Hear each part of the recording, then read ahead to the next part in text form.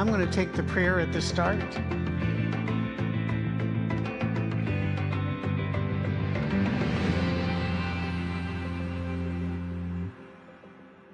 Well, good morning, church, and welcome to our, our worship hour. We wanted to start acknowledging the pain that is being suffered in Israel and in Palestine today. We, uh, we our prayers are for the people of Israel. They're also for the innocents that are in Palestine. Please remember that not everybody in Palestine is a member of Hamas or a sympathizer with Hamas, but that Hamas has interwoven themselves in there using a lot of Palestinian Christians and innocents as human shields. War is always awful.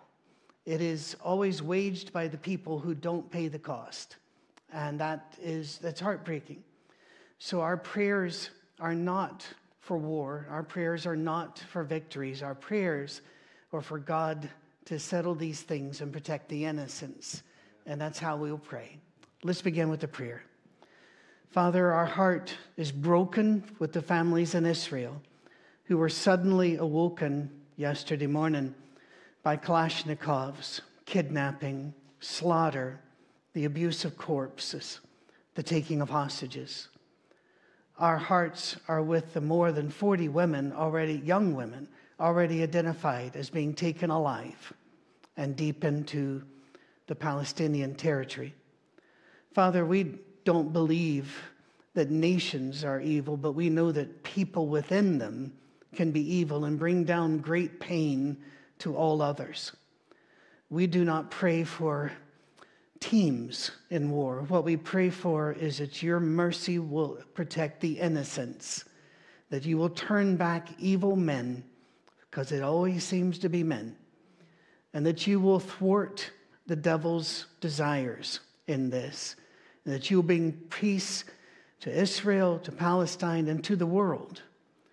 Father, somehow, while this storm rages, help us to be faithful, keep our eyes and our hearts open, and our wallets and our pockets open, and our homes open to serve as places of comfort and care for those in pain.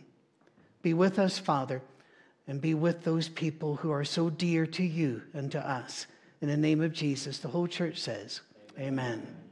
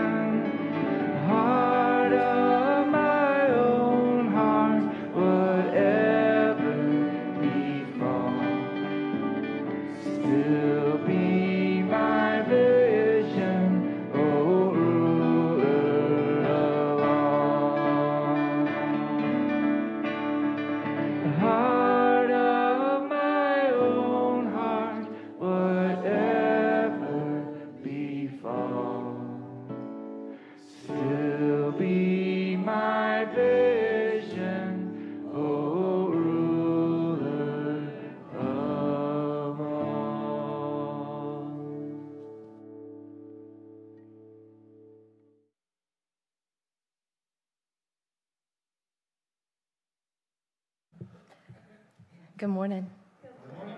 Um, I'm Mary Alice, and this is Jaime. And um, I guess I confess a little bit that giving is like the one thing that I'm asked to do that makes me a little nervous. Like it, it just really does. And um, I think that that is because for many years, if I had a Facebook status with church, it would have been it's complicated or on again, off again, maybe. Um, I love Jesus. I came to know Jesus a long time ago, and I, I love Jesus. Um, but church was kind of hard. Um, so this week, I had this moment when I'm driving in my car, and one of my favorites is Don Williams. I love Don Williams. But my favorite song, the chorus is I pray for a stronger back. I pray for a bigger heart.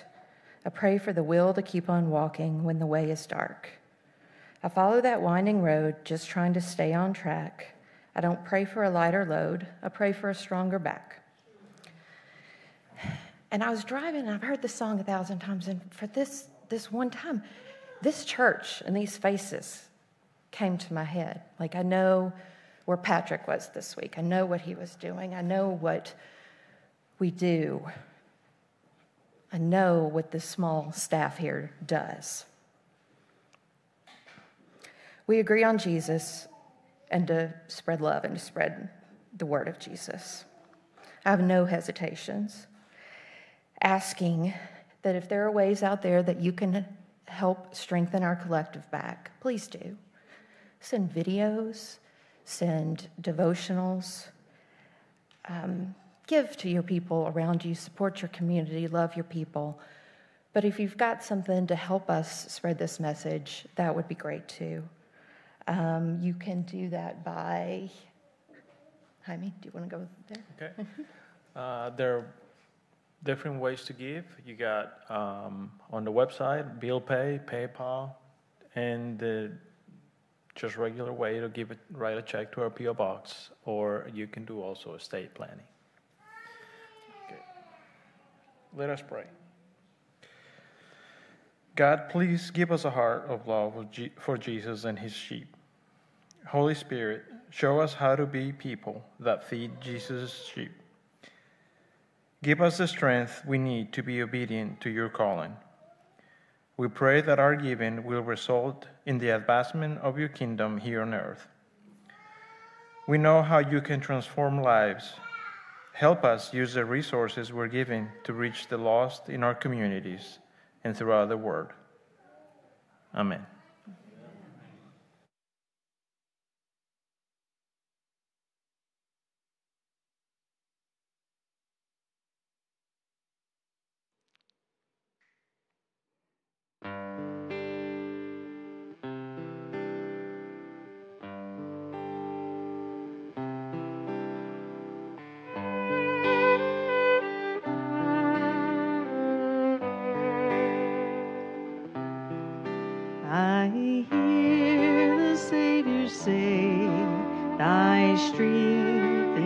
feet is small.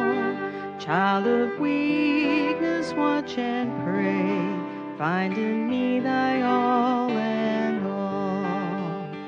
Jesus.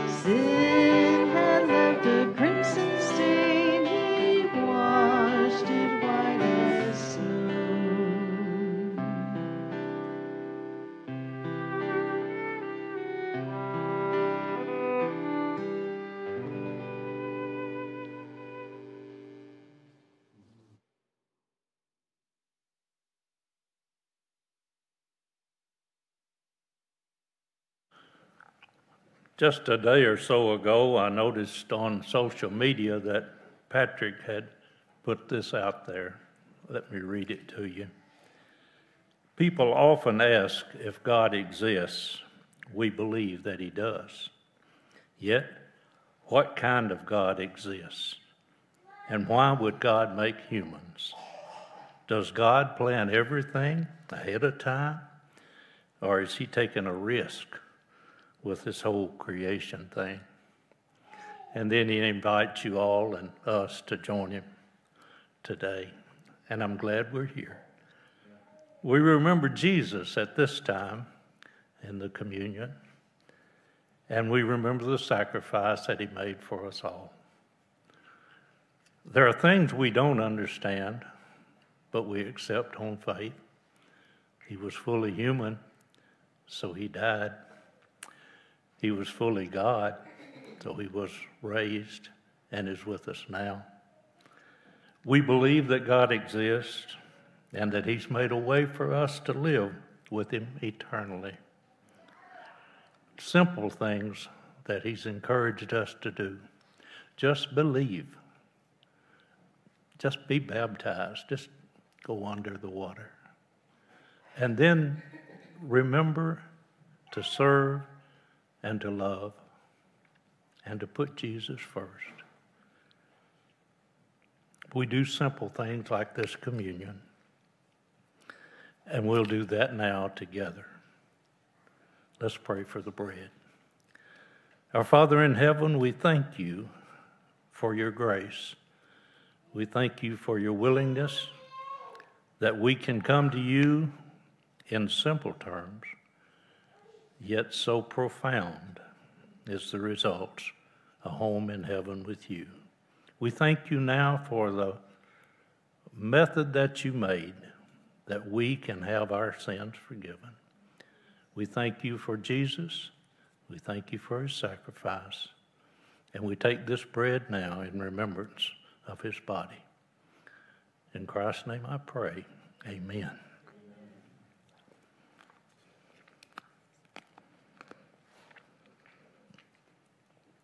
Now let's pray for the Jews. Father, in like manner, we recognize that through your grace again, we have our sins forgiven, and the blood of Christ wipes away all of our sins. We thank you for that method. We thank you for that forgiveness. We thank you most for your grace. As we drink this juice, help us to remember Christ's blood given as a sacrifice for our sins. In Christ's name I pray. Amen.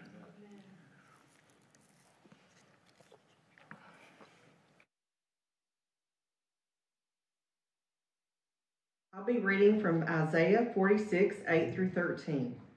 Remember this, keep it in mind, take it to heart, you rebels. Remember the former things, those of long ago. I am God, and there is no other. I am God, and there is none like me. I make known the end from the beginning, from ancient times, what is still to come. I say, My purpose will stand, and I will do all that I please. From the east I summon a bird of prey, from a far off land a man to fulfill my promise. What I have said, that I will bring about. What I have planned, that I will do. Listen to me, you stubborn hearted. You who are now from far from righteousness, I am bringing my righteousness near. It is not far away, and my salvation will not be delayed. I will grant salvation to Zion, my splendor to Israel.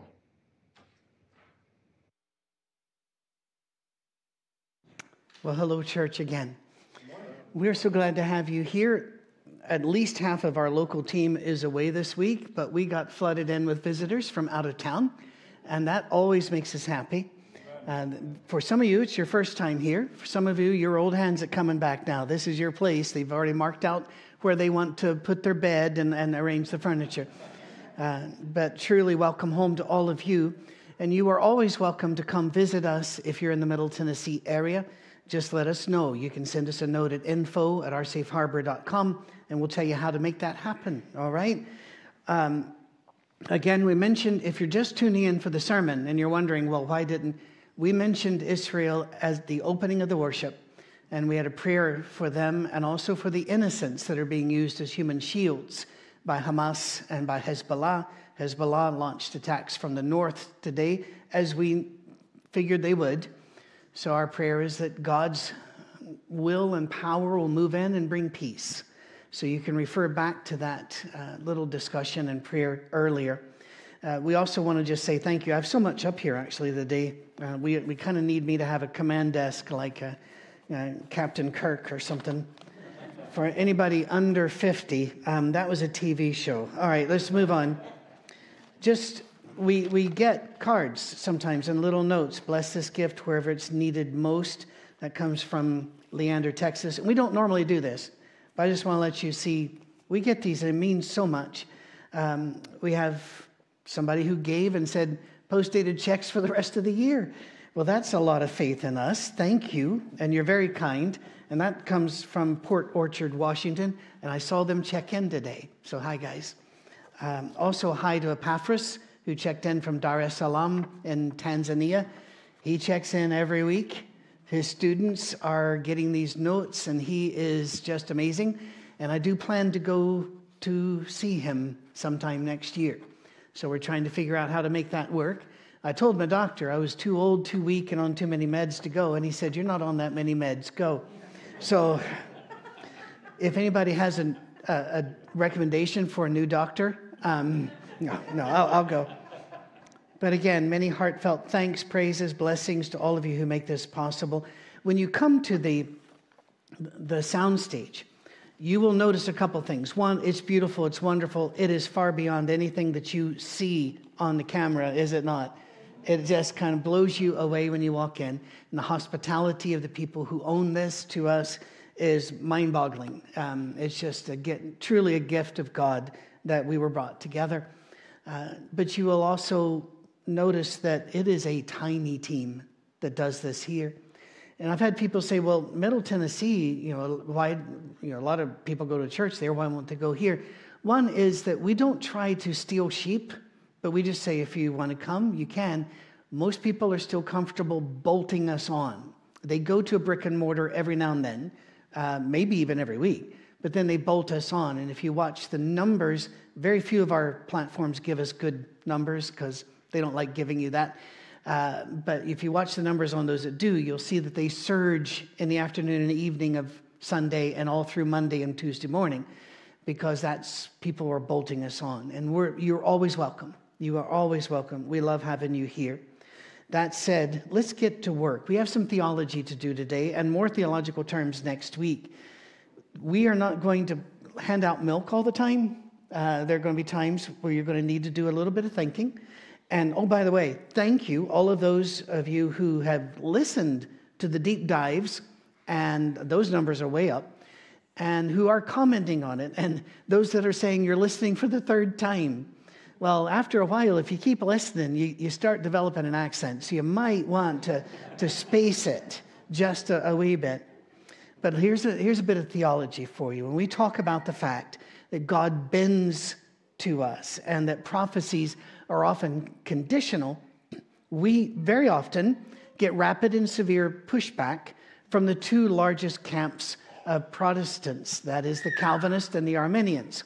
To review, the Calvinists believe that every single thing that has ever happened or that ever will happen, even down to the spin of a particular atom or the death of a particular star, was planned and designed by God before the creation of the world. And when they say everything, they mean everything. John Piper is perhaps the leading preacher in the Calvinist tradition here. I wouldn't say the leading theologian, although he certainly is leading. There are other theologians out there. Um, but he has a megachurch and he has a megaphone and he writes books that are just gobbled up, especially by millennials who seem to be flocking to the comfort of Reformed theolo- theology. This is a quote from his book. And also, he, he did an inter- interview. He posted a video. He did this on purpose. The video is called Desiring God. And then there's a subtitle How Could God Kill Women and Children? This is a quote It is right for God to slaughter women and children anytime he pleases. God gives life and he takes life. Everybody who dies, dies because God wills that they die.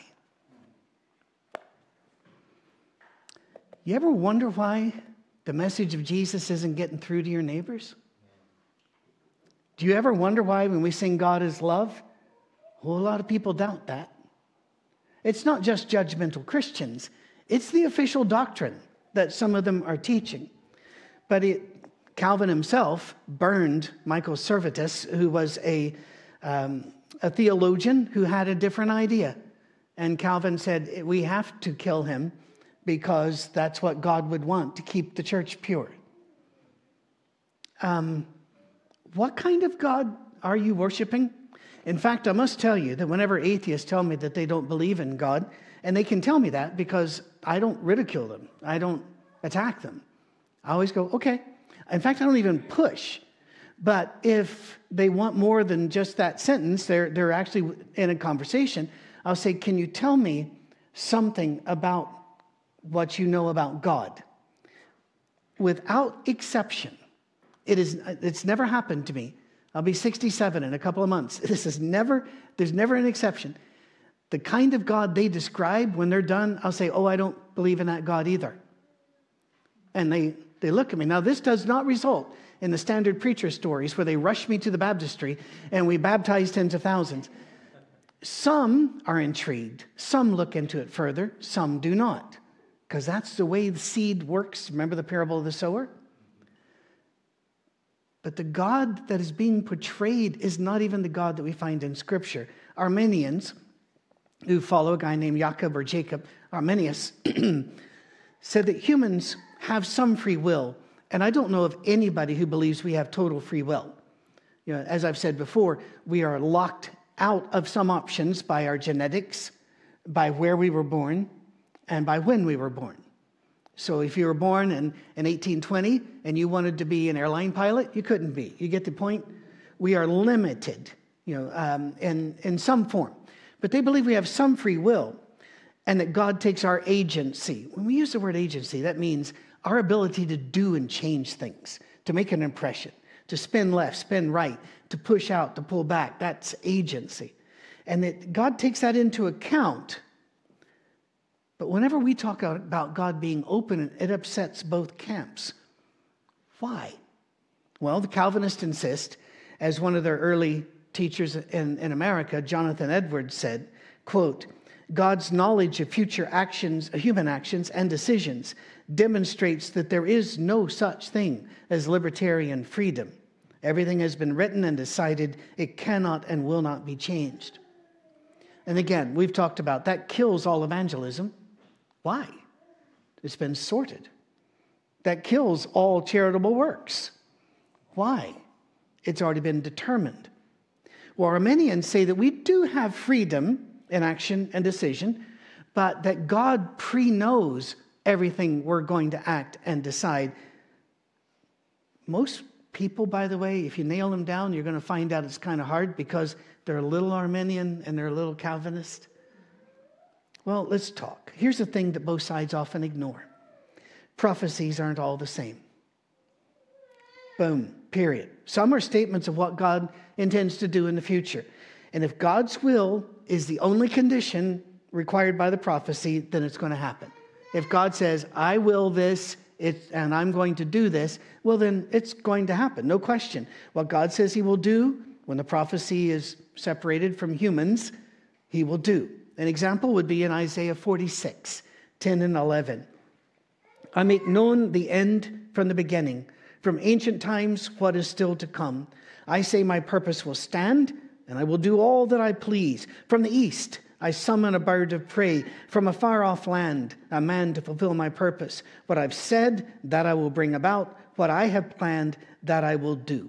Now, Calvinists will often use this as an example, saying, See, that settles the question. And I'll say, No, He's speaking of him. We're never mentioned at all.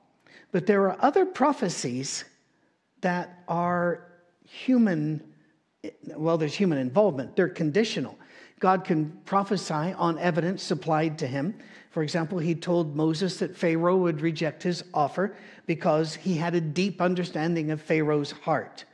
God didn't make Pharaoh fail. God knew it was going to happen, because he knew Pharaoh. Think about this. We can do that too. We see somebody stumbling out of a bar, barely able to walk, and walking around with the key fob trying to find their car, and then getting in, and we're going, that's, there's going to be an accident. Well, that's, you're not being a prophet there. You're not determining the future. We can just tell, based on the evidence, this is a bad thing. Well, a lot of scriptures, however, a lot of prophecies in scripture have God saying, I will do this, and then there's a big word, massive word. You might need to write this down, check the spelling. If. If. It's a lot. There's a lot of ifs in scripture. God intends to do this if certain conditions are met. These are called conditional prophecies. You've probably not heard the term because we tend in sermons to, to, you know, there's this big, massive Great Lake of information in Scripture, and most sermons are skipping a rock over parts of it. You just get a little bit. But we got to go a bit deeper here if we're going to be able to deal with the problem of evil, which is the last sermon in October, the first sermon in November. Yeah, we do plan way out. Um, we're actually going somewhere. Wow. Okay. If we look at one end, um, at, at, we looked at one at the rather at the end of the lesson last week. If we look at Jeremiah 18, that, that's just kind of a compact Reader's Digest view. In Jeremiah 18, he repeatedly says, These prophecies of mine will come to pass if this, but they will not if that. And all of the ifs are based upon human agency, whether we agree to work with him or not, whether we change our ways or not. It's all up to us. It's a binary choice. Now, most of us know what binary is because we're in the computer age and we know that zeros and ones. Those are your binary choice. Well, they didn't know anything about binary. So God would say, I hold before you life or death, blessings or punishment. And he let them choose. Now, think about this. He says, I hold before you life and death, or similar dichotomies. If we do not have free choice, then God is playing with us, and cruelly so. It would be like saying, if you do such and such, there will be cake. But knowing there is no cake. That would be cruel. You know, if it's broccoli, not so cruel. Cake is cruel. The lack of cake is, is a plague upon the land, frankly. So that if there is no ifs in the prophecies of God, but God says there are ifs, what does that say about the character of God and his trustworthiness? The, I, I know that Calvinists believe that they are putting God up high, exalted, and all powerful, but you're actually making him cruel and untrustworthy. Because he says things, and there are, there are things like David's throne will be established forever. It lasted just two and a half kings. And you might say, I hear people say, he's going to reestablish. We don't have the records. We have no idea who's in the line of David. 70 AD happened. The, the fall of Jerusalem, the ruin of the records happened. The diaspora happened. So let's be very plain. There are times that God acts upon the world on his own, but more often we find him working with his creatures. And you may, may not have noticed this. His creatures are not entirely predictable at all. In Jeremiah 3, verse 7, just one, just one example here. I, this is God speaking. In fact, if you take a look at um, in most versions, it'll have the word Lord all capitalized, which means it's the tetragrammaton, the four consonants that consist that, that, that make up God's name, the unpronounceable name, that we tend to say Yahweh. We used to call Jehovah, but now they say Yahweh. So this is him speaking. I thought that after she had done all of this, talking about Israel, she would return to me but she did not. And her unfaithful sister Judah saw it. Was God lying? Or was he truly surprised and frustrated by decisions we were being, that were made here? I know for some people this shakes them and they say this diminishes God. I'd remind them of the illustrations I used a couple of weeks ago about the non existence of the future and how God is much, much larger wiser and stronger and more loving if the future doesn't exist until it does, until all the possibilities collapse into one certainty, or we, we usually use the term singularity in science. There is ample evidence in Scripture that God planned to save everybody. Everybody. God planned to send Jesus to us, planned for the good news to be spread and lived upon the earth. There's also ample evidence that God chose certain people, certain times to work with him to carry out his will. Every single person he picked was very faulty, but God bent down and worked with them as he works with us. The character of David, most in most David's stories, is not good. And, and I know that we always like to do the you know pretty little David and the sheep and you know hey he killed Goliath and yay, Team David. But there was also rape, there was adultery, there was treachery. He was a traitor, he was a murderer, he was lazy, he was horrible to his kids. I, we can keep going on. Now, God still was able to use him to advance his will and even to get some pretty psalms out of them. But are you trying to tell me that God decided the course of David's life? That would make God a co conspirator. You know, we do that if you say, right, we're going to walk in this, this bank, we're going to rob it, I need you to hold the sack, and I do that, I'm a co conspirator. Or even if I know you're going to do it and I don't tell, I'm guilty of being an accessory before the fact. Um, you making God guilty? Think about this. How about this? It, interesting, isn't it, that those who most often firmly state that God's will is always done and God's plans always come to fruition ignore the passages that say God is not willing that any should perish. Ask a Calvinist, are we all saved? No, no, no. In fact, they don't believe Jesus died for everybody. They say Jesus died only for the elect, only for those predetermined. Now, think of, think of this. Only those chosen before creation to be saved did Jesus die for. My question is why? If they were already chosen to be saved, what was the point? What did it change? It's rather like, I'm going to age myself again here Indiana Jones, the first movie. The first movie. Watch it, and I'm going to ruin it for you now.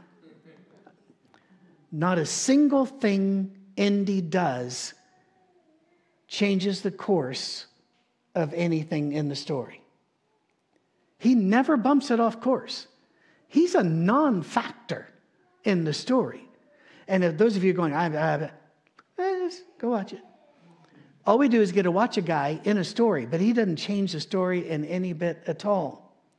Why would you send Jesus if he'd made no changes? Opened no doors, closed no doors, changed nothing in the story? That makes zero sense.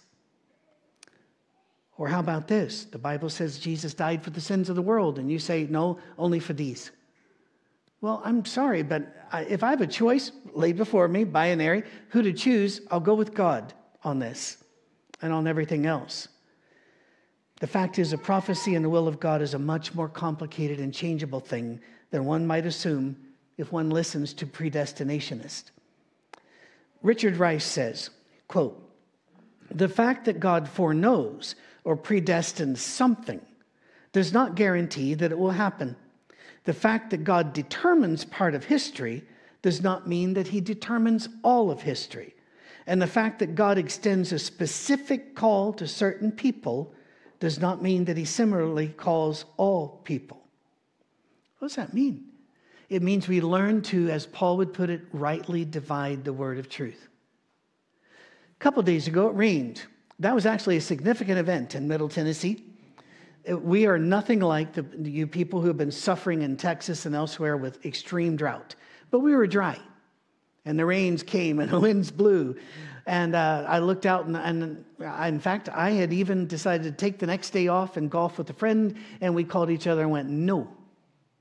But as we watched the river running through my yard, there's a river that runs through my yard. The people who designed our development decided I needed an occasional river.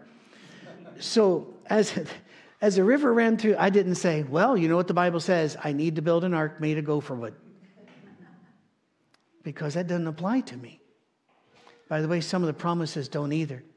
When God says to Jeremiah, I know my thoughts concerning you, to bless you, not to curse you, we often appropriate that for us, don't we? He was talking to Jeremiah, who died doing what he didn't want to do. He said, Don't take me to Egypt. They took him to Egypt forcefully. We don't know that he made it to Egypt because he vanishes from history on the trip. God had thoughts that didn't mean that humans couldn't frustrate it. Will, they, will humans win? No, because God has predetermined that he wins. We do have to wonder what, every now and then, you need to go to a mirror, look and see if you're wearing the right team's jersey. That's all. Because it's easy to get the wrong jersey on. My wife and I are soccer fans, for those of you in the rest of the world, football. Um, and every time we go to one, my wife, being a thoughtful person, says, What are the colors of the other team? We don't want to wear those. well, in America, that's just kind of a nice thing. In Britain, wearing the wrong colors gets you killed. Um, well, maybe not killed, but won't. Um, because you've never, everybody knows British soccer fans are the best behaved. there were times in Glasgow where we just decided, not, we're just going to stay home today because we don't own anything that says, I don't root for either team, right? What team do you root for?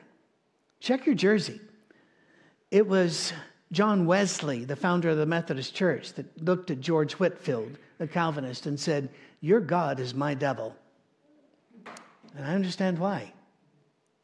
By the way, knowing these things also helps us with another problem. Many have. They'll say, Why is there evil in the world and a loving God who has all power and wisdom exist? Again, we deal with this a lot in the last sermon in November and the first, I'm sorry, last sermon in October, first in November.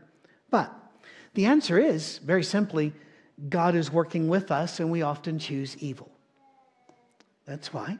It's not a complete answer because it does not actually answer for tsunamis, cystic fibrosis, cancer, other natural disasters, but it does answer a lot. Think of it this way my wife and I were blessed with two amazing children, born six years apart. We would have liked more kids, God said two, and He gave us great kids. And they're not kids now, but they're still kids to us. Our daughter was our firstborn. She's always, always been intelligent, beautiful, witty, and very strong. Having a beautiful daughter causes you some worries, does it not? Having a beautiful daughter can make your life a little frightening as you don't know what's, what's the world going to do with her. We could have made sure that she would come to adulthood never having touched alcohol, drugs, never having sex outside of marriage, never getting even a speeding ticket. All we'd have to do is chain her in the basement. Is there anybody on the planet who thinks that's good parenting? To be a parent, you have to risk. You have to allow them to risk. When our son signed into the Marine Corps, being a parent, we knew that could happen. We also knew we might not get him back. We did. Spoiler alert. But not everybody does, do they? It's a risk. I had people, I'm supposed to be in Israel here in just a couple of weeks. People have said, Are you still going? If they're flying, I'm going. It won't be the first time. Somebody asked me yesterday, they said, Why? I said, I, I did live just outside Detroit for 10 years. Um, and that was when it was bad. Detroit's getting so much better now. They've had some good mayors. I'm so happy for Detroit. We loved it. We loved it, by the way. We had a grand time there fantastic. But um, you know, it was beautiful. You know, when the gangs came out with their new colors. And but the the it was the only place I've ever lived where I've used the phrase "cover me, I'm going for milk." But it's better now. People say, "Well, won't that be risky?" I got to tell you something. I drive in Nashville. That's pretty risky. Because I'm sure most people in Middle Tennessee got their driving license by mail. They took a course, a correspondence course, and had not actually found, seen an actual car until they got in one. But, and by the way, if you have extra, we have a critical lack of blinker fluid here. Nobody's blinkers work. We need more fluid. Now, I say that, and then I've been in other countries where their traffic makes ours look like nothing. So if you're in one of those, sorry, sorry, my heart does bleed for you. Here's the thing it was never an option to eliminate risk, it was never an option to lock her down in a basement. To give your heart to someone is to risk every single time. To give your heart to someone is to open yourself up to pain, rejection, heartache, fear. Your first plan will most not likely not survive, neither will your second. Why? Because it isn't entirely up to you. The universe gets a vote.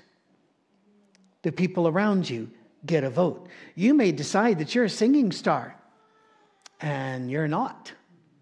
You may decide you're a social influencer, but if you've only got five followers, you're not. It is it is also true in religion. I've spoken to elders, one in, in particular I'm thinking of now, that tried hard to run his church a certain way. And he was the chief elder, although he, nobody would say that out loud.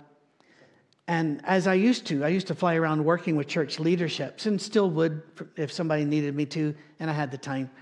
Um, but working with this one guy, he had this one project And he said, And these people, I've been working for a year and I can't get anybody to join me. And I leaned over and I said, Then you're not a shepherd. And he looked at me and he says, Yes, I am. And I said, Where's your flock? If you have no sheep, do we really need to go through the syllogisms here?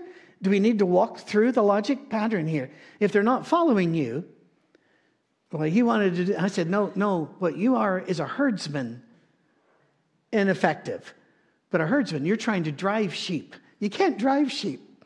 You try, they just part. It is so frustrating. You can't drive them, you have to lead them. God made a tremendous risk, a, a, just a tremendous risk when He made us in His image. He had the choice. He could have made us, He could have not made us. He made us in His image, beings that have choice. He did not risk His character, He did not risk His righteousness, He risked His heart. Scripture is full of pictures of a heartbroken God. I ask you to go back and look at the sermon I did on Hosea. All of our videos are up there. It's well over 500 now. Or you can find it everywhere where God hurts, uh, God grieves. How about Ephesians? We'll just do one. Uh, Ephesians chapter 4 and verse 30. And do not grieve the Holy Spirit of God with whom you were sealed for the day of redemption. We know that verse? We know that verse. We've heard that verse. How can you grieve him if he always knew it and it was in his plan? That makes sense. But do children ever grieve their parents? All of them do. By the way, right now, if you're feeling insulted, do parents ever grieve their children? All of them do. When you love, you put that to risk. It's amazing, isn't it? God could have withdrawn.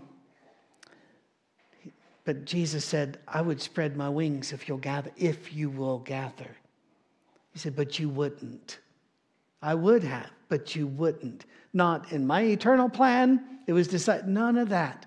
None of that fake, lofty sounding pseudo Christianity. We are walking with God, and it is risky. Our God does not stay uninvested, He does not stay at a safe distance. Our God does not worry about His honor. Our God wades into the middle of us and works with us and for us. I have friends, I've had friends through the years that work with preschool, kindergarten, or such. And I'll talk to them um, and say, Well, your first few years, you got every cold known to man, didn't you? And they'll say, Yes. And I'll say, How many years was it before you stopped being sticky? when you wade right into the middle of these little ones and love them, you're going to get sticky.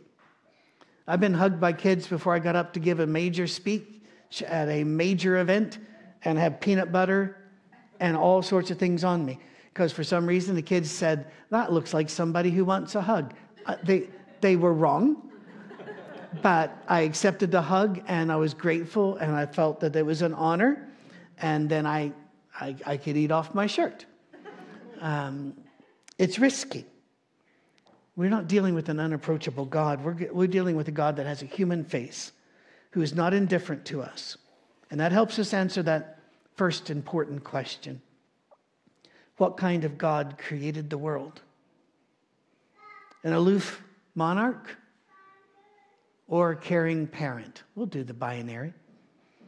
A God who ensures his victory by locking down all dissenting voices and keeping all choices away from his children, or a God who engages with his children and always from day one gives them the option here's the tree to reject him.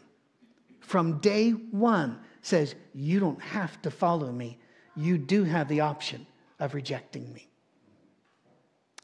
God cares so much about us that he lets what we do impact him. Our lives matter to him. Your life matters to God. Our decisions are truly significant. No wonder then that heaven is full of those who are actively cheering us on. You ever notice that? Scripture talks about this great cloud of witnesses. Why would you cheer a sporting event that is fixed and you know how it's going to end? There has to be something at risk, doesn't there? American baseball fascinates me, not enough to watch it, but because, first of all, people that follow baseball in America are deeply involved in every route. You know, they'll say he has the best batting average of every left handed person, 27 years old, with a mustache from Philadelphia, born in Indiana. I mean, they know all of this stuff. They have all the boxes. It's, a, it's, I guess it's some form of calculus or math game that involves spitting and scratching. That I've noticed that. But I have noticed one thing, and that is even the, the greatest Hall of Famer misses far more often than they hit. Christians are like that too. We're going to miss more than we hit. God knew that going in. He didn't fix the game. How boring would it be that every time you got up, you hit a home run? Even if they were trying not to pitch to you. I know I don't watch these games either, but I have noticed that some, for some reason, sometimes the catcher goes over there and they just throw back and forth a few times because they don't want to throw it to the guy. They just want him to walk to first base. It's a bizarre game. Uh, they use their hands. What kind of sport does that? But I mean, even then, you would just jump up, levitate, run over there and hit it, and home run. After a while, it would lose its novelty. It really would. After a while, you'd quit doing it. But he cares so much about us, he didn't fix the race. Therefore, in Hebrews, we'll, we'll close out with this. We're going to close out with this and an act of rebellion. I'll explain. Not now. Hebrews 12, 1 and 2. Therefore, since we are surrounded by such a great cloud of witnesses, by the way, that word, that term in Paul's day meant the spectators in a sporting event. So let us throw off everything that hinders and the sin that so easily entangles, and let us run with perseverance the race marked out for us, fixing our eyes on Jesus, the pioneer and perfecter of faith. For the joy set before him, he endured the cross, scorning its shame, and sat down at the right hand of God. What beautiful messages. There was a time, I don't remember a lot about my childhood. Um, a lot of reasons for that, but it's all right. I'm used to be a shrink, so I know them. Uh, but I do remember, and I could not have been older than four, that we were stateside and we were at a Christian college of some sort. Since I'm not entirely sure, I'm not going to name it. But it seemed to be a missionaries conference of some sort. So that's why we were there. And my dad, I don't know where we were living at the time, but my dad was considering going to a new country. And he was really, really excited. So we went to the, the, the seminar. And he took the family, because you did. You, you know, we didn't have family to leave with because they weren't religiously acceptable to dad. So we went with us. We went with rather. And there was, I can remember though, at night, there was no program for wee kids. During the day, it was like daycare for me. I can remember that bit. But at night, you had to go hear the sermons. And they were angry men. They were angry. Something about liberalism, whatever that was, and acts at the root and the like. And I won't name all of the names, that's not the, the deal. But in this particular tribe, they had been using a songbook. I believe the songbook was 10, uh, like gospel songs or something like that. There was a blue book as well. But then a new book had come out, which was kind of red. I would even say wine colored, but we wouldn't approve of the word wine. So uh, a Cordovanish type thing, and had more songs in it. And, and they even had a song gum stickered in the back because they found a new one after they wrote it. That's where we got 728B. If those of you in the tribe know exactly what I'm talking about, because they, they wrote it too late, so they went ha, ha, and stuck it in the back of that one. And because this tribe never changes anything for the next two hymnal issues, even though they had more songs, it was still listed as 728B. I'm going, you, you want other people to throw away their faith for, and you won't get rid of a B. Fair enough. But I was four years old and I was frightened of the preachers. They were screaming about the dangers here and the like, and he'd go red faced and sweat would pop off of him. And one in particular melted in my brain. He, uh, was yelling about the new songbook and the unscriptural songs in the songbook. And one in particular made him just furious. And then he looked at the title on the book and said, Great Songs of the Church. And he screamed, What church? And he threw it to a chorus of amens. No applause in this particular tribe, but a chorus of amen. Yeah, there. And I'm just going. Later, I found out that it was two songs that they hated. One was I Come to the Garden Alone, but the other one was My God and I. They hated a line in there that talks about God talking about the plans made for us when they were all but a, dream, a dim conception. Later, I'd grow up to be a fella who read physics and understood, yep, there is no future. There is only the now and what God has determined, and we are walking with Him, and we are friends of God. We are the Kadeshim who will be with Him in heaven. That's the name. We are the ones who laugh and talk with God. What kind of God made the world? Kind of God doesn't mind this song at all.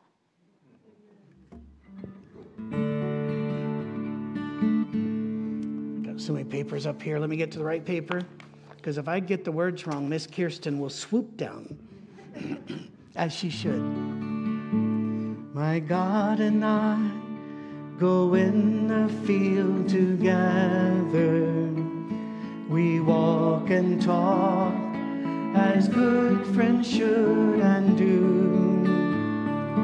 We clasp our hands, our voices ring with laughter my God and I walk through the meadows hue. We clasp our hands, voices ring with laughter. My God and I walk through the meadows hue. He tells me of the years that went before me, when heavenly plans were made for me to be. When all was of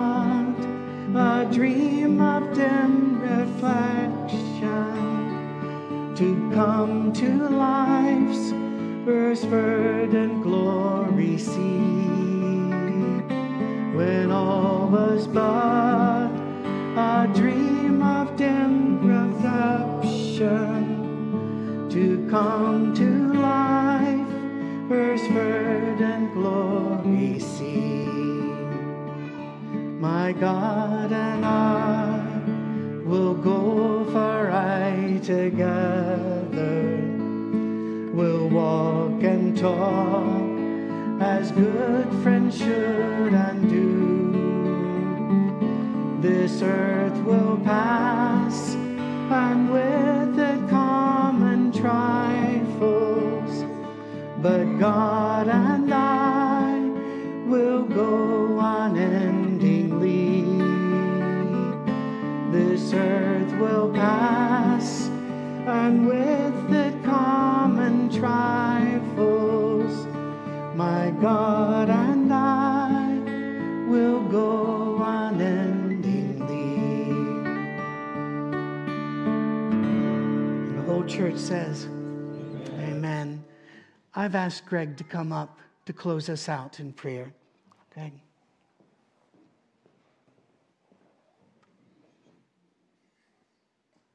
Everybody for joining us, whether it's live right now or you're catching us in the evening or in the next couple of days.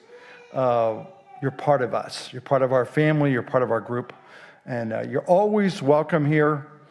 Uh, I think of uh, the opening of our service here about an hour ago when Patrick was talking about Israel. And it's deep on many people's hearts what's going on over there. But at the same time, Afghanistan has been hit by a very bad earthquake, the worst in recorded history for at least a good number of years.